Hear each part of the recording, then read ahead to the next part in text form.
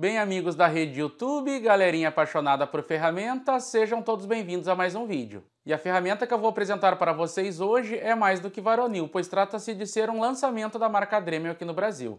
Mas antes de qualquer coisa, eu quero deixar os créditos desse vídeo a um site parceiraço aqui do canal, que cedeu essa ferramenta para este review, que é o site Dutra Máquinas. Então, se você tiver interesse em adquirir esse produto, vai ter link para a compra aqui embaixo, aqui na descrição. E para ficar melhor ainda, também temos um cupom de desconto, então confere aí. E já aproveitando a deixa do jabá, também quero fazer aquela mendigagem de cada dia, que é onde eu quero pedir que vocês me ajudem a bater a importantíssima meta de mil likes nesse vídeo. Então, galerinha, capricha o dedo no like. E você que não é inscrito no canal, me dê esse apoio, me dê essa moralzinha aí. Se inscreva e compartilhe esse vídeo com seus amigos. Mas chega de comerciais, bora conferir o produto. Então, pessoal, hoje vamos conhecer a nova micro retífica bateria da Dremel.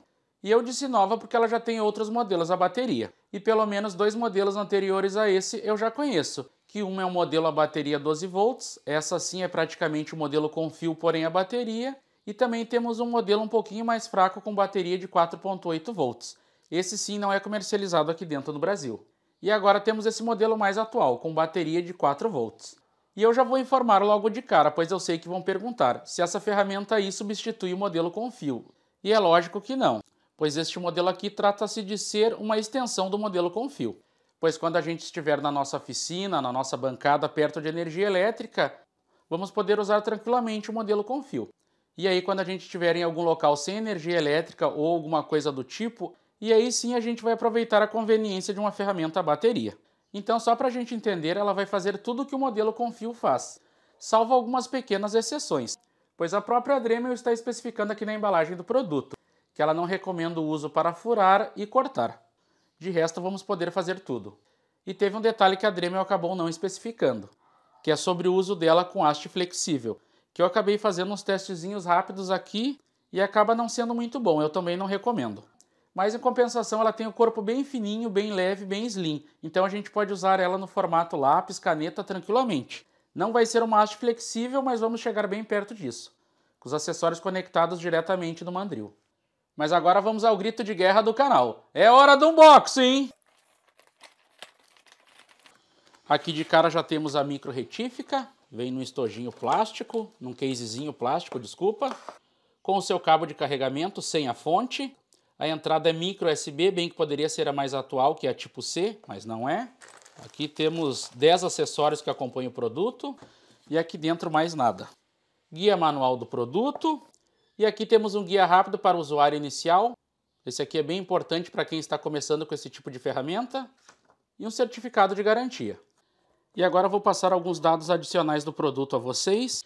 É uma micro retífica bateria 4 volts, com bateria de 2 A, achei bem positivo isso, pois geralmente esse tipo de produto acompanha bateria de 1.3 ou 1.5. A gente tem o controle ou ajuste de RPM com quatro velocidades que vai de 8.000 até 25.000 RPM. Aqui na embalagem está dizendo que o peso do produto é 270 gramas e a capacidade máxima do mandril é 3.2 milímetros, que é o que vem incluso nela. E um ponto negativo que eu achei nela é o seu carregamento lento, que fica em torno de 2 horas e 45 minutos. E como eu havia dito antes, acompanha 10 acessórios. E se as nossas necessidades pedir mais acessórios, vamos ter que adquirir a parte.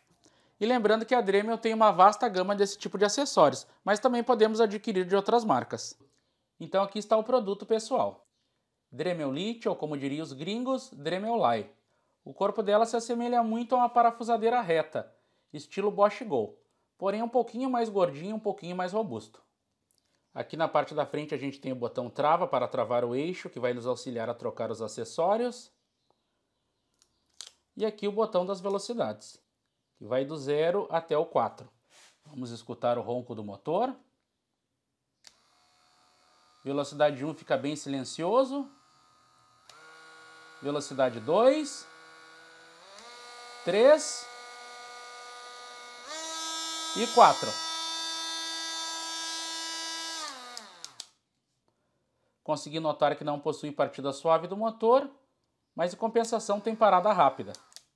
Quase um freio instantâneo. Aqui temos o modelo do produto, 7760.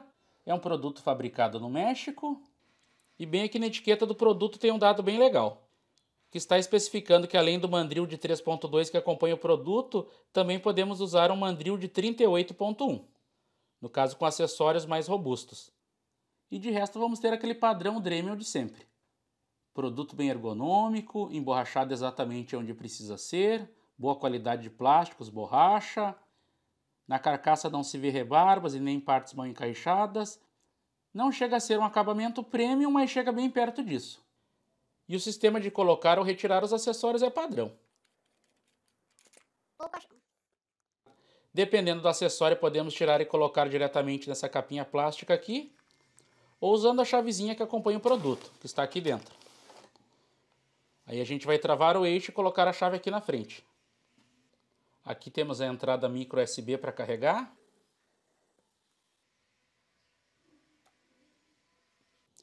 E bem aqui a gente tem uma luzinha que vai ficar acesa quando o produto estiver em carregamento. Mas agora, fim de papo, vamos pôr o produto em ação.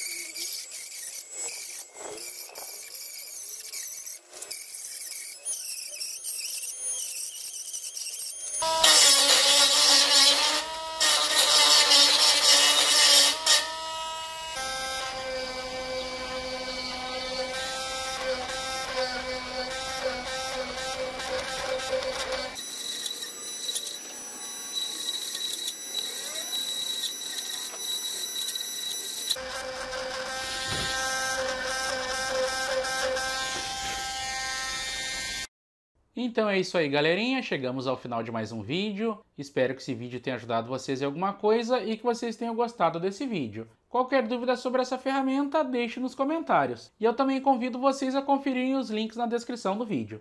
E agora vamos ao que interessa, que é as considerações finais sobre o produto. E sendo curto e grosso, a ferramenta está testada e aprovada. E baseado na minha humilde opinião, na minha experiência de uso com esse tipo de equipamento, eu super recomendo. Mas é claro que temos que saber dimensionar o uso, pois se a gente souber usar essa ferramenta dentro do propósito dela, vai ser só alegria. E como eu já havia dito anteriormente, o propósito dessa ferramenta não é substituir o modelo com fio, e sim uma extensão dela. E eu também já havia dito que esse modelo é um pouco mais fraco do que o modelo com fio. E mesmo que essa ferramenta tivesse a mesma força que o modelo com fio, a gente não iria conseguir substituir um modelo pelo outro, pois essa ferramenta tem a bateria integrada, que não é removível, de apenas 2 A, que para rápidas instalações, coisas eventuais vai ir muito bem, e que num trabalho mais contínuo não tem para onde fugir, vamos ter que optar pelo modelo com fio. Ou então por um outro modelo de Dremel a bateria de repente o um modelo 12 volts com duas ou mais baterias. Aí enquanto uma bateria está trabalhando na máquina, as outras estão carregando. Aí o serviço não vai parar nunca. E no início do vídeo eu tinha dito que a Dremel possui mais dois modelos de micro retífica bateria, mas não, na realidade ela tem bem mais do que isso. Que além dos modelos que eu havia citado de 12 e 4.8, ela também tem modelo de 10,8 e 8 volts. Só que para nossa infelicidade, não são comercializados aqui dentro. E não é só a ferramenta em si que não é comercializada aqui dentro.